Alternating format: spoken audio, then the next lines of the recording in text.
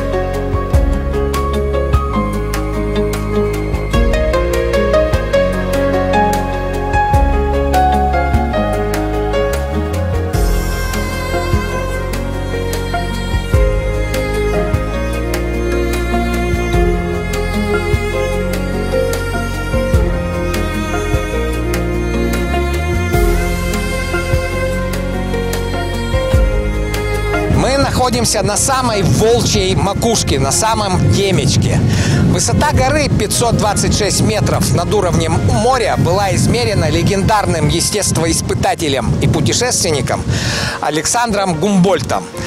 Ну, Волчиха не самая высокая гора на Среднем Урале, но тем не менее это самый главный ориентир, который находится в окрестностях Екатеринбурга. Гора входит в так называемый Ревдинский увал.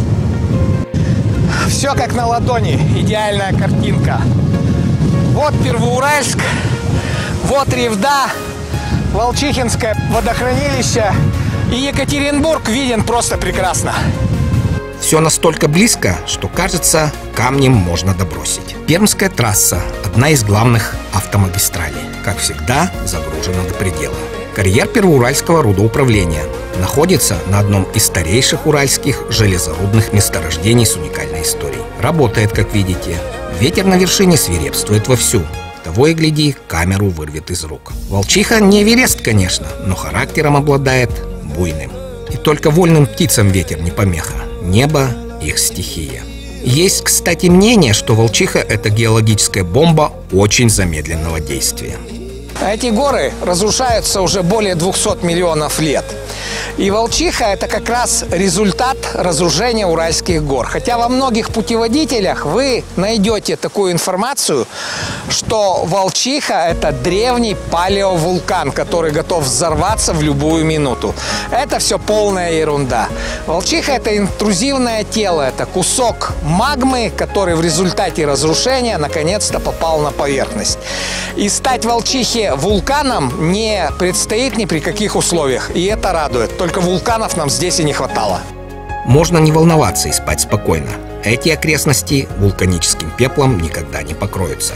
Исключено. Так что наслаждаемся дивными пейзажами. Именно древний возраст Урал камня, непрерывная работа стихии и времени открыла доступ к его кладовым, полным несметных сокровищ.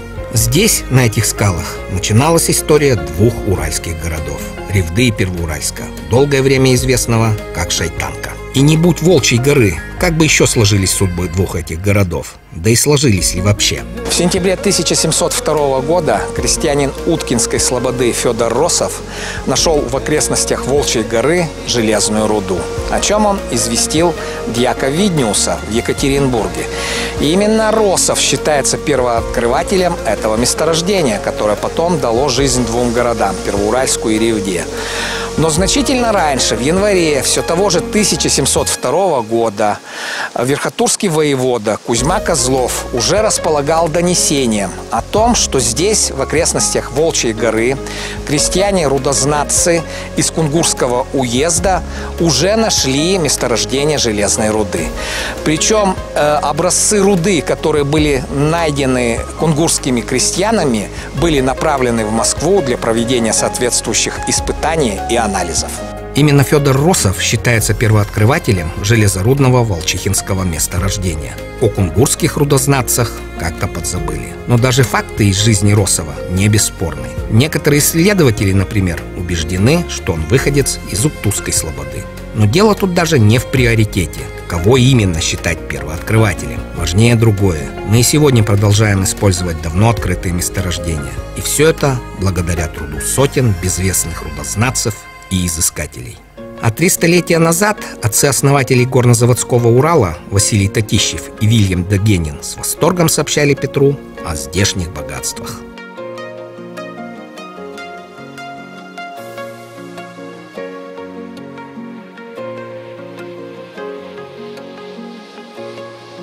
Но вот находка Росова почему-то поначалу ко двору не пришлась.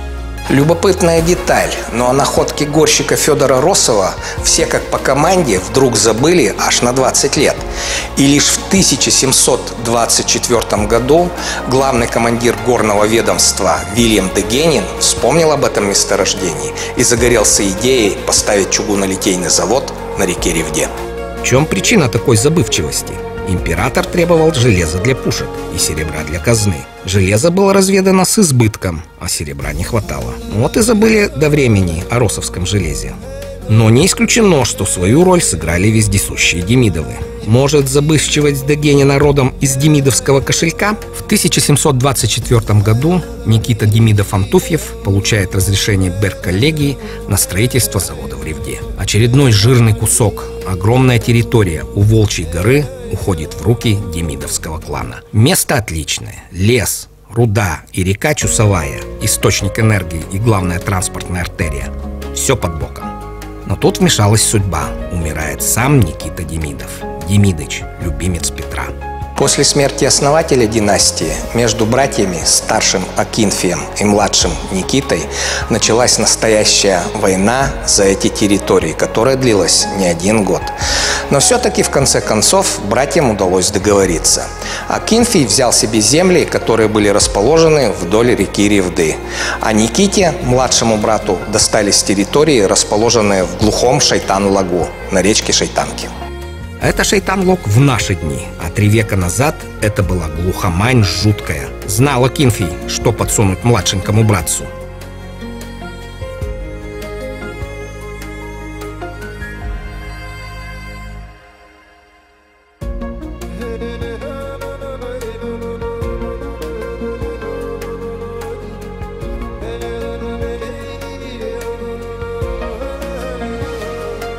Башкиры, вольные сыны степей, которым принадлежали эти места, всю эту глухомань, настоящую лесную урему, откровенно не любили и боялись, справедливо полагая, что здесь живет всякая нечисть во главе с самим шайтаном.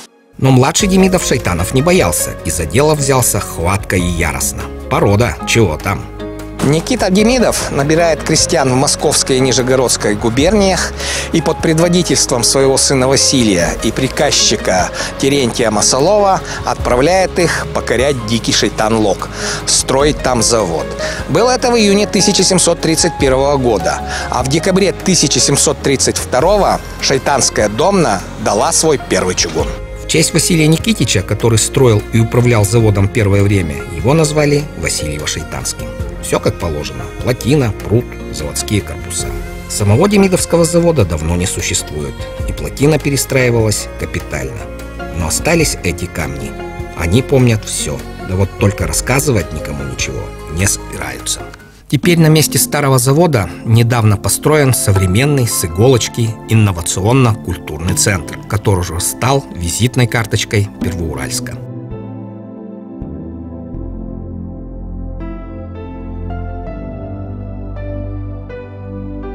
Но первая продукция Васильева шайтанского завода его владельцу не понравилась. Руда в плавлении крепка, и железо из нее жестко, отмечал Демидов-младший. Пришлось затратить немало времени и сил на налаживание производства. Не иначе сам шайтан козни строил. Зато у старшего Акинфия дела в Ревде шли отлично. Завод быстро вошел в пятерку лучших по России. Может и не стоило младшему братцу лезть в этот богом забытый лог. Со временем пошли дела и у Никиты.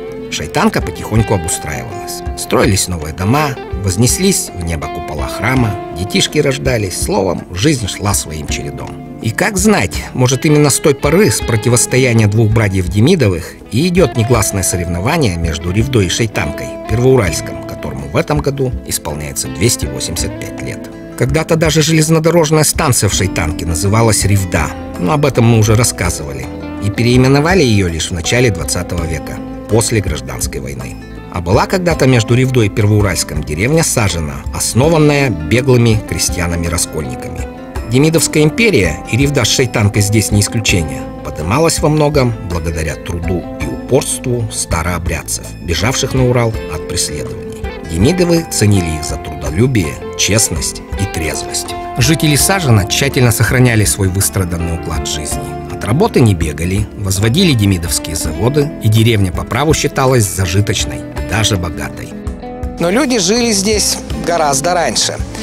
Э, энтузиасты Уральского общества любителей естествознания УОЛЕ в XIX веке проводили на территории деревни раскопки и нашли огромное количество э, каменных наконечников и каменных топоров, чей возраст составлял более 4000 лет. Еще можно найти здесь фундаменты домов и фрагменты старой дороги, соединявшей Ревду и Шейтанку. История деревни закончилась в конце 60-х годов прошлого века. Из-за негативного воздействия предприятий Первоуральско-Ревдинского промузла жителей переселили, и сажена не стало.